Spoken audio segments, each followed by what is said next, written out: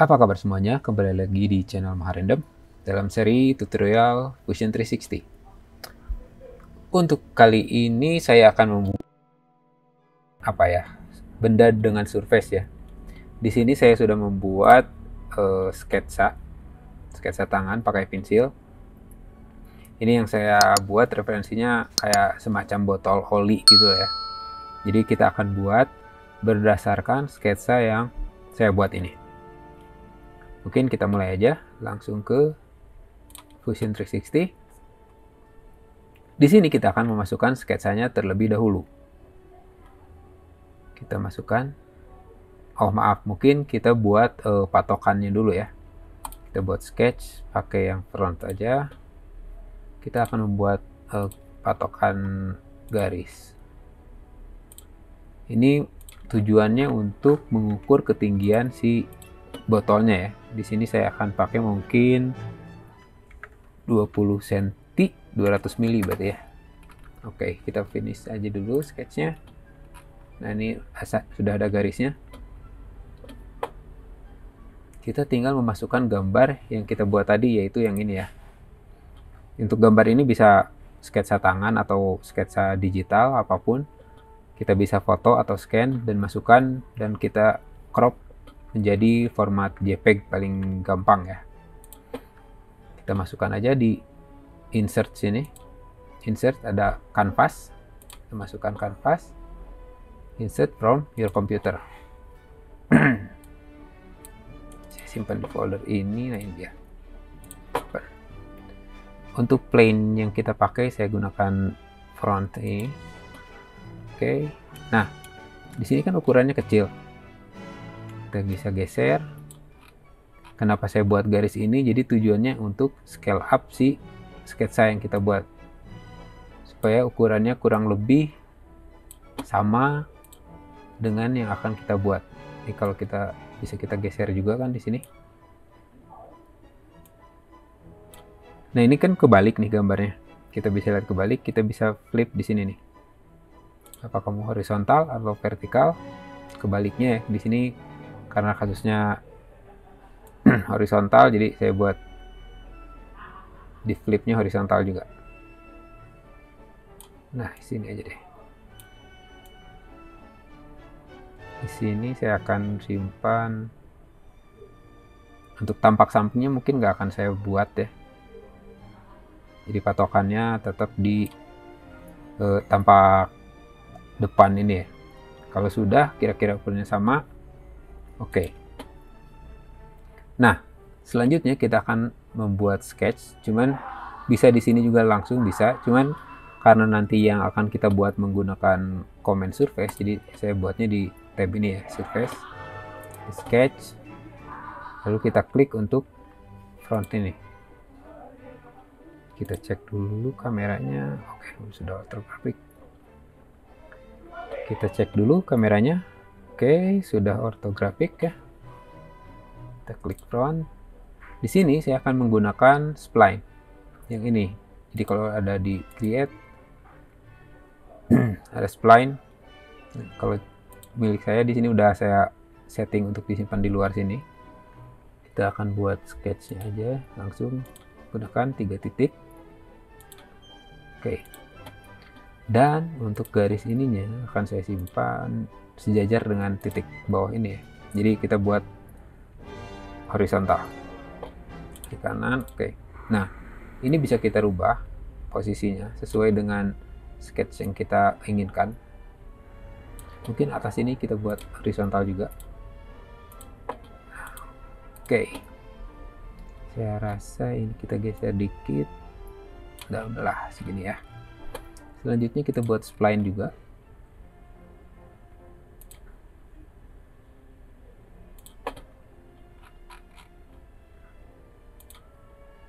oke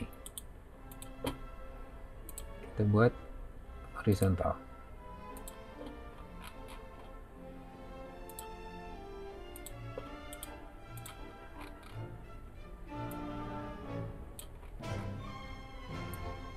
Oke, nah ini dia.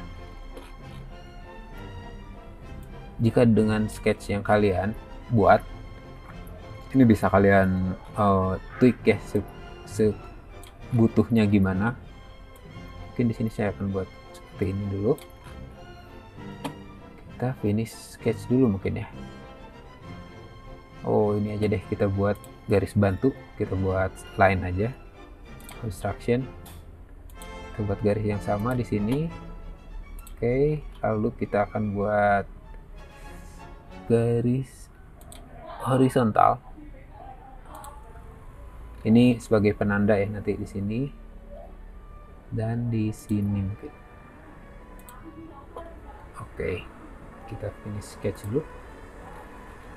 Nah untuk sketch yang pertama ini sudah kita buat sketch utamanya ya. Selanjutnya kita akan membuat uh, sketch di panel yang lain.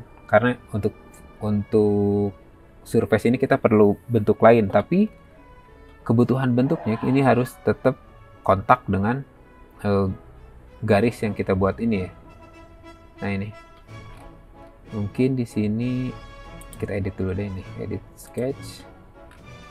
Yang ini kita trim dulu deh garisnya. Nah, kenapa kita trim? Tujuannya karena saya di sini pengen ada, nah semacam titik ini. Kalau tidak kita trim, ini titik ini nggak akan ada kan jadi kalau kita hilangin sketch yang pertama banget nah ini nggak akan ada titik ini. Titik ini tujuannya supaya kita bisa membuat uh, plane baru. Untuk yang bawah kita tinggal membuat sketch menggunakan oh, sorry finish. Untuk yang bawah kita tinggal memilih plane yang di sini ya. Nah ini. Kita tinggal buat kotak aja di sini dulu ya Oke, dimensinya saya mau buat mungkin ketebalannya di 40 mili ya. Dari sini berarti 20 kalau setengahnya. Nah, ini sudah selesai. Maksudnya sudah ada. Lalu kita tinggal membuat coincidence dari garis ini ke titik yang kita buat. Nah, ini juga sama. Di sini ada sketsanya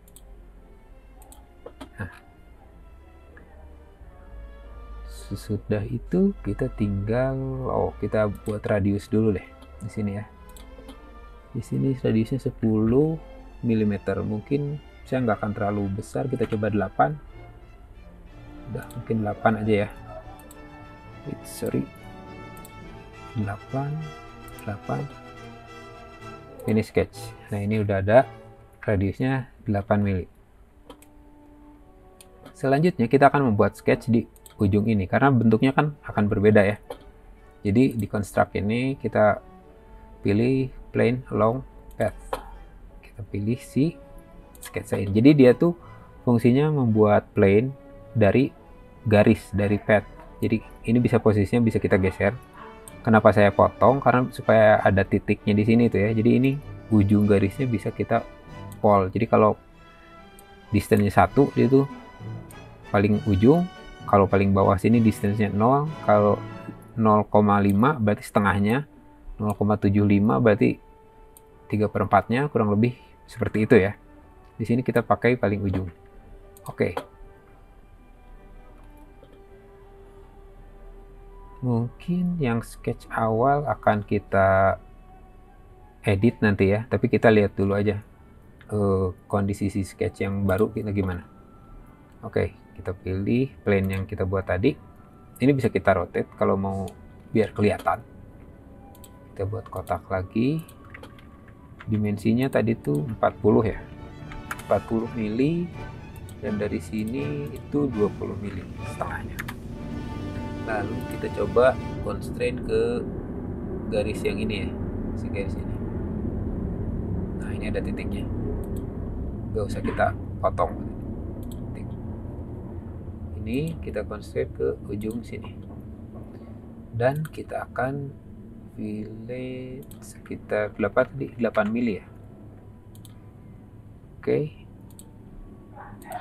nah sini ada. Finish sketch. Ini untuk bentuk dasarnya sudah ada. Kalau radiusnya ingin lebih besar kita bisa tambah lagi misalkan tetap pakai yang 10 tadi ya. Di sini kita tinggal create loft Nah, objek yang kita buat adalah ininya chain selectionnya kita nyalain ya. Kalau nggak kita nyalain, kita harus klik setiap garisnya. Karena ada chain selection, jadi otomatis. Coba kita buka tanpa chain selection.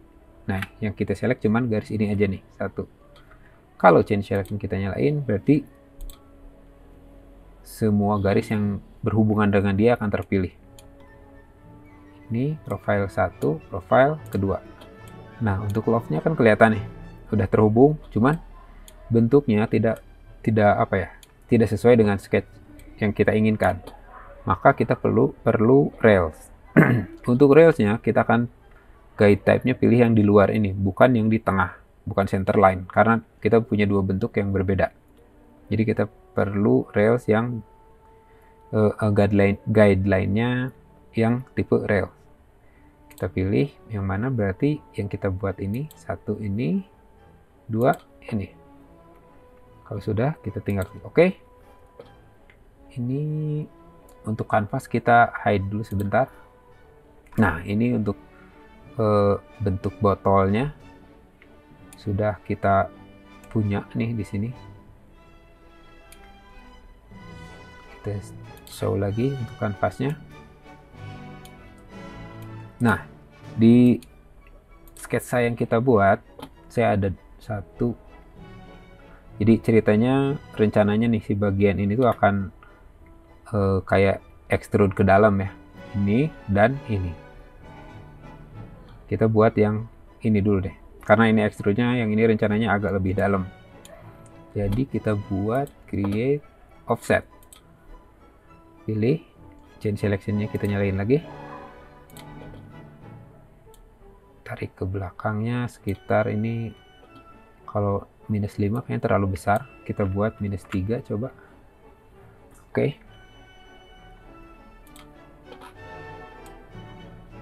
Nah ini sudah ada untuk bagian dalamnya rencananya ya. Kita cek dulu. Oke aman. Berarti kita tinggal membuat sketch untuk memotong ya. Ini kita pilih plane yang ini aja buat garis satu ke sini oke okay. dan satu lagi ke sini dan kita akan buat garis spline supaya ada lengkungan di sini oke okay. kita bisa atur juga nih spline ini sesuai dengan yang kita inginkan kita tinggal fillet di sini mungkin nggak mau terlalu besar sih. Kayaknya oke lah 10 ya. Oke okay, 10 ini sketch. Kita tinggal trim. Kita gunakan comment trim sini. Untuk toolsnya berarti kita pilih sketch yang kita buat tadi. Dan untuk bagian yang kita hilangkan adalah ini. Oke. Okay. satu dua. Nah ini. Kita hilangkan. Oke. okay. Nah ini sketch masih ada kan ya. Jadi kita akan gunakan untuk trim sekali lagi. Dengan cara trim. Pilih toolsnya yang ini. Cuman yang kita hilangkan sekarang. Kalau ini kan bagian luarnya ya. Eh bagian dalam tapi eh, bagian yang akan kita pakai. Berarti yang kita hilangkan bagian dalam ini. Nah berarti kalau bagian yang merah berarti adalah bagian yang akan kita buang. Kalau gitu kita oke okay dulu. Nah, di sini sudah ada uh, dua permukaan. Sebetulnya untuk metodenya macam-macam ya. Bisa jadi dari ini kita extrude, terus kita trim trim trim, ini jadi ketutup gitu ya. Atau bisa juga metode yang akan saya coba kali ini menggunakan comment loft ini. Nah, satu garis yang pertama ini yang bagian dalam ya. Untuk yang kedua yang bagian. Oke. Okay. Nih di sini berarti kita sudah ada bentuk uh, kayak semacam dindingnya ya. Selanjutnya, nah ini untuk yang coak ini dalam ya. Mungkin kita akan coba metode lain, tapi secara fungsi kurang lebih sama. Kita buat sketch aja di sini. Saya membuat garis lurus aja.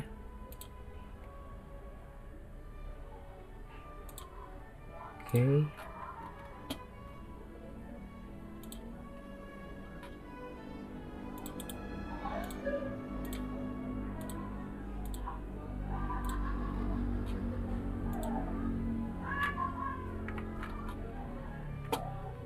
Lalu kita akan membuat spline berdasarkan sketsa yang kita buat.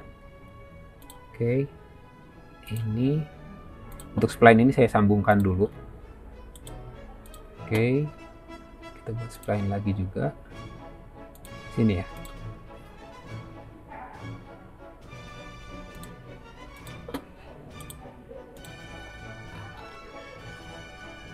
Atau sebetulnya si spline ini bisa kita buat juga dengan cara uh, apa membuat sketch dari offset sketch yang ini ya cuman untuk sekarang kita akan menggunakan metode ini aja supaya nggak terlalu membingungkan bolak-balik ke sketch yang sebelumnya ya jadi kita buat garis aja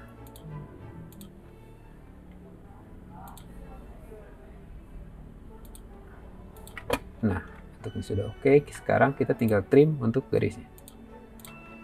Berarti garis yang kita pakai ini kita trim. Kita akan coba rounded juga nih. Ini mungkin 10,5 hmm, 12 deh ya. Sketch. Di sini juga edit dulu. saya rounded juga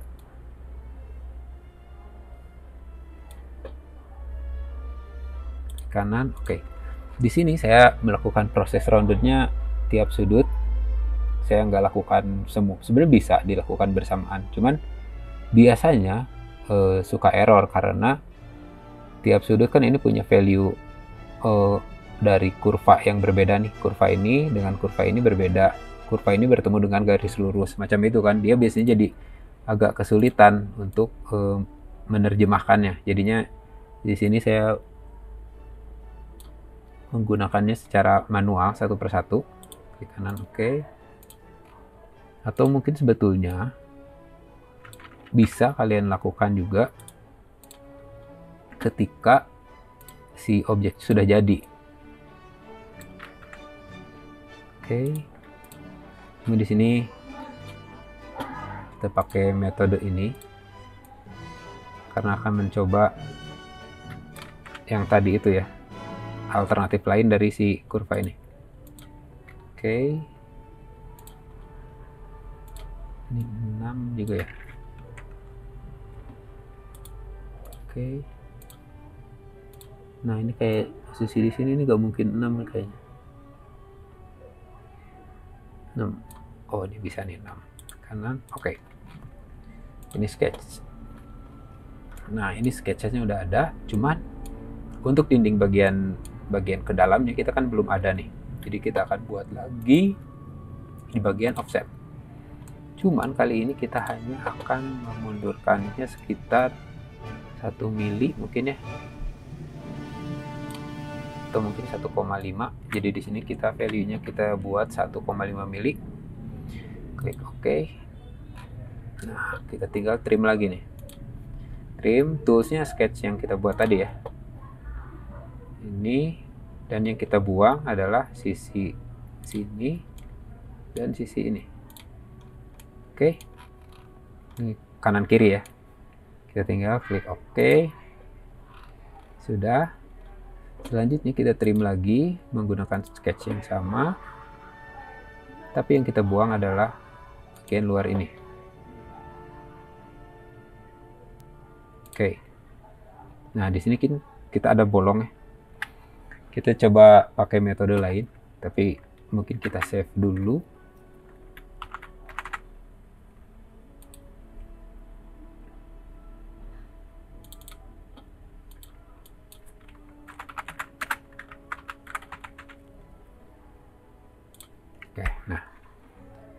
di sini saya oh mungkin kita undo dulu ya. Trim ini kita ulangi lagi. Maaf. Nah. Delete all ini belum kita trim ya. Kita extrude sketch yang kita buat ini. Kita buat simetrik mungkin ya. Supaya kanan kirinya ada. Nah jadi si garis ini kita extrude sampai menembus si dua dua surface yang kita buat ini. Kita klik oke. Okay. ini kayaknya kanvasnya kita matiin dulu. Nah ini udah ada. Jadi kita tinggal membuat trim sama. Cuman toolsnya akan akan kita pakai misalkan si body ini nah ini kita tetap pakai tools yang sama nah surface yang kita hapus ini dan ini Ingat ya, kalau warnanya merah berarti akan kita hilangkan. Biasanya kalau nggak berwarna merah, itu ada bermasalah dengan proses pemilihannya di seleksinya. Kadang beberapa kali harus berulang untuk selectnya karena e, kita salah memilih permukaannya. Kita trim lagi. Nah ini kan ada lebih. Sekarang tools yang akan kita pakai adalah luar ini. Ini lebih lama sih bukan lebih rumit ya lebih lama prosesnya. Cuman untuk beberapa bentuk kadang membutuhkan proses seperti ini. Ini nah seperti ini. Kita nggak terpilih ya yang akan kita hilangkan. Tiba-tiba 16 selection dan nggak ada permukaan yang berwarna merah. Kita clear dulu. Trim toolnya ini jadi kita coba. Nah ini tetap bermasalah. Kita coba lagi trim toolsnya yang sama. Nah saya biasa coba gini. Nah jadi biasanya kalau kita selectnya seperti ini kadang-kadang akan terpilih bagian surface yang lain. Jadi kalau saya biasanya diusahakan belakangnya nggak ada objek lain. Jadi ketika kita select beneran objek ini yang kita pilih? Warna merah kita trim oke. Okay. kita trim lagi. Tools yang akan kita pakai adalah yang ini nih. Ini lagi cuman objek yang kita buat bagian dalam ini ya. Nah oke. Okay. sudah. Nah ini tersisa bagian dalam yang nyebrang ini. Berarti trim yang akan kita buat adalah ini Nah ini. Kita akan pilih permukaan ini. Cuman sayangnya ketika membuat metode seperti ini di kanan kiri, yang kita buat ketika kita pilih, karena untuk trim toolnya kita nggak bisa pilih dua. Trim tool itu cuma satu yang bisa kita pilihnya. Jadi kita pilih, kita bisa lihat di sini, nih untuk bagian ini nanti akan hilang. Oke ya. Nah, ini sudah tertutup tapi di sini jadi hilang. Jadi mungkin salah satu kekurangan metode yang kedua ini tuh seperti itu. Caranya kalau seperti ini mengembalikannya beruntung kita membuat objek yang simetris. Kita tinggal mirror faces atau mungkin body aja ya. Karena ini masih objek yang berbeda. Ini mirror plane-nya Nah, oke, okay. kita bisa lihat di sini ada dindingnya. Dari objek yang kita buat ini, kita masih melihat di bagian body. Nih, ini ada tanda kalau warna merah seperti ini tuh berarti dia objeknya surface. Dia masih apa ya? Terpisah-pisah jadi masih belum jadi satu. Cuman karena objeknya belum beres kita coba selesaikan dulu secara supaya tertutup. Kita kasih patch. Patch ini untuk menutup lubang ya biasanya di sini. Nah, ini kita patch dulu. Lalu kita kembalikan kayaknya untuk kanvasnya ya. Oh nggak usah. Kita lihat aja di sketch yang pertama eh kedua. Nah kita kalau kita lihat di kanvas kita akan membuat ringnya di sini ya.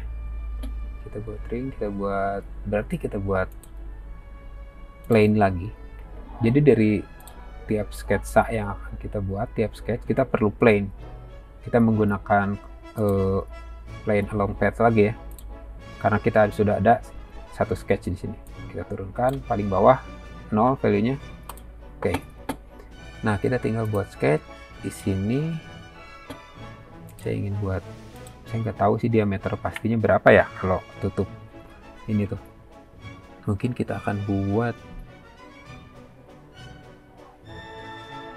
30 aja ya. Coba. Ini sketch. Nah dari sketch ini kita bisa uh, menambahkan kita nggak perlu sketch lagi di dari bawah sini. Kita mau buat loft lagi. Dari lingkaran ini menuju si bentuk ini ya. Nah ini sudah ada. Jadinya eh, sudah ada apa ya istilahnya? Udah ada bentuk jadi kita tinggal menghubungkan. Nah di sini kita lihat sambungannya hanya patahan ini kan dari yang kedua ini connected kita bisa rubah di sininya ada tang tangent dan kurvatur. Di sini saya akan membuat di mana garisnya berhubungan dengan objek yang di bawah ini. Jadi kita pilih tangent. Tangent ini. Nah. Oke.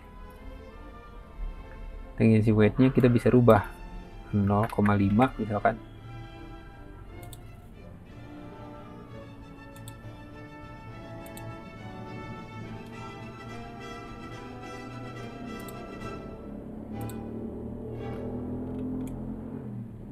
di sini juga kita bisa uh, connected atau direction. Nah, ini directionnya berarti ke atas ya sesuai dengan sketch. Nah jadi nanti si apa ya garis di sininya udah sudah sudah langkung mengikuti desain si botolnya. Mungkin si tangent ini kita naikin lagi jadi satu weightnya enak bentuknya nah.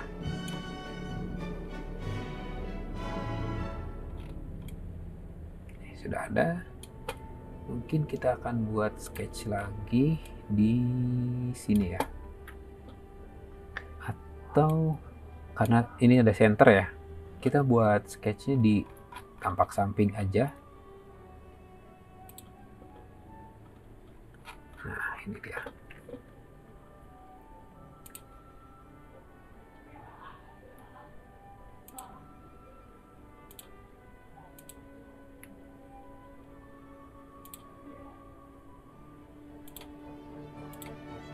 Oke. Kita coba ini bisa constraint tidak sini. Oke, dimensinya kita klik D. Tadi itu 30 mili ya. Berarti di sini 15. Saya mau ini enggak terlalu tebal, kita buat 3 mili mungkin ya. Ini diameter 20 mungkin atau 21 ini juga kita buat 30 eh maaf 15 berarti kalau setengahnya. Untuk garis ini kita buat horizontal sama ini. Ini sketch. Nah saya akan revolve untuk surface nya aksisnya pilih yang tengah ini dia. Oke. Nah kurang lebih wah ini kayaknya terlalu besar ya. Kita edit dulu deh.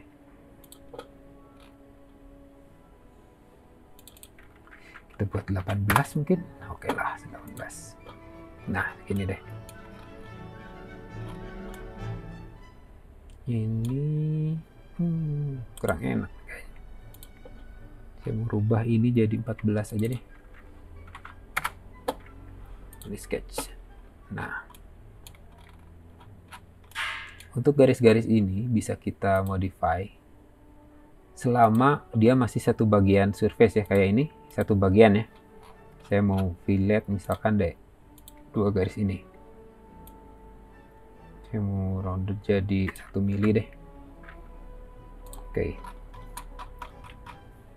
Coba kita hide dulu untuk kanvasnya Oke, sketchnya juga kita hide dulu.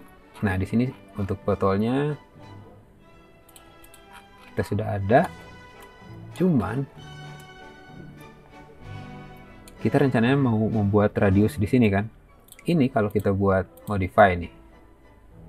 Dilihat untuk radius ini nggak bisa. Karena si objek yang kita buat ini belum terhubung. Caranya untuk menyatukan semua ini kita perlu stitch. Proses stitching ini ini untuk toleransinya. Jadi jaraknya kalau 0,1 dia akan terhubung. Kita drag dari kanan ke kiri. Nah, kita bisa lihat pertemuan yang warna hijau ini berarti dia akan terhubung. Jadi kita bisa ngecek error atau enggaknya sebuah objek surface kalau ada warna merah. Ini kayak gini nih. Ini nggak ada nggak ada merah berarti aman dia. Ya. Tapi ketika di atas ini karena dia nggak ada pasangannya, dia nggak ada nggak ada apanya ya, nggak ada penutupnya, nggak terhubung dengan surface yang lain, dia akan merah. Setelah itu kalau udah oke okay, kita tinggal oke okay. kita tunggu sebentar nah save dulu jangan lupa. Kita lihat di objek bodies ini objek yang kita buat sudah menjadi satu kesatuan. Asalnya tadi kan banyak tuh panjang. Nah karena ini sudah jadi satu kesatuan kita bisa modify fillet. Misalnya kita mau kasih radius di sini. Mungkin berapa mil ya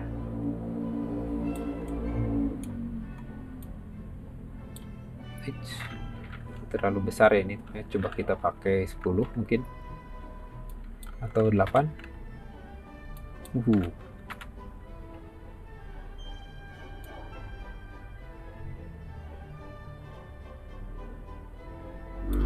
coba 5 ya.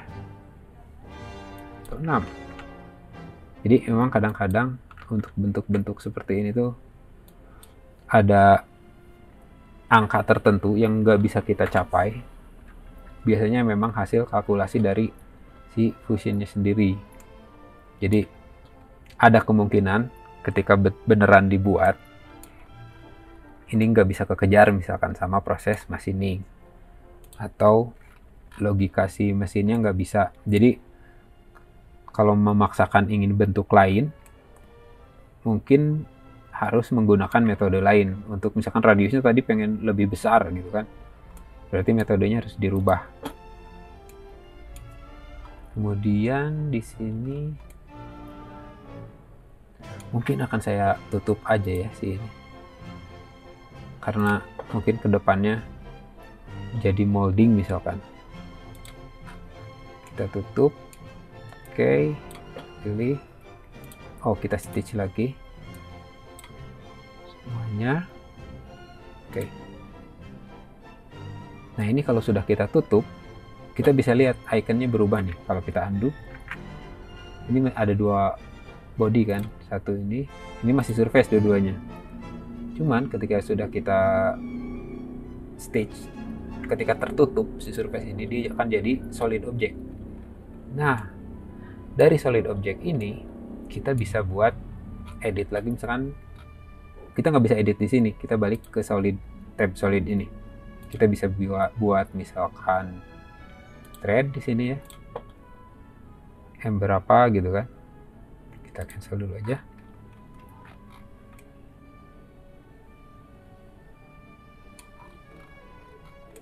Mungkin saya mau menambahkan apa ya? Fitur di sini.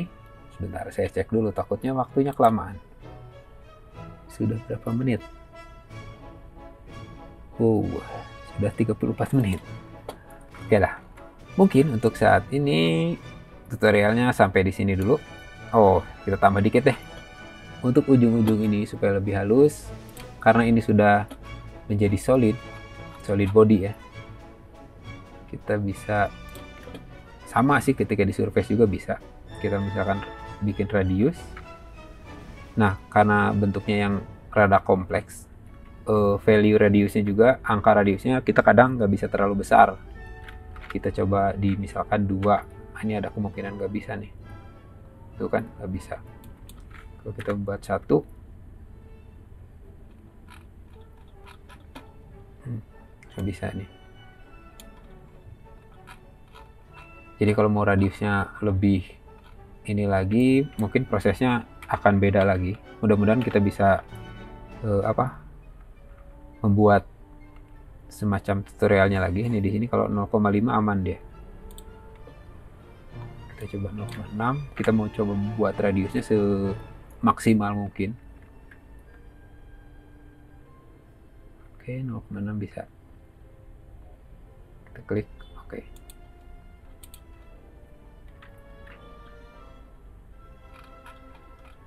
Di sini kita bikin thread aja jadi kayak buat jalur tutupnya modelnya dibuat. Di M28 28 kali 2 oke. Nah. Terus kalau mau bolong kita tinggal sebetulnya kadang bisa menggunakan opsi shell ini. Shell. Tebalnya mau berapa mili misalkan satu. Atau 1,5 cuman kadang-kadang opsi uh, apa ya shell ini juga nggak bisa karena kompleksnya sebuah bentuk. Jadi solusi termudahnya untuk ketebalan itu kita buat lagi dengan surface yang baru. Dengan cara eh, apa melakukan proses offset dari setiap permukaannya. Nanti kita trim satu persatu semua akan lebih susah lagi nih nih kita lihat di sini juga nggak bisa jadi kita cancel aja jadi untuk sementara tutorial kita sampai sini aja. Mudah-mudahan bisa dimengerti untuk uh, apa ya prosesnya. Jangan lupa klik tombol like kalau memang bermanfaat untuk kalian, subscribe juga, komen juga sangat bagus untuk membantu video ini lebih apa ya lebih terinformasikan kepada orang lain yang membutuhkannya dan membantu channel ini lebih berkembang juga. Oke, terima kasih sudah menyaksikan. Sampai jumpa di video selanjutnya.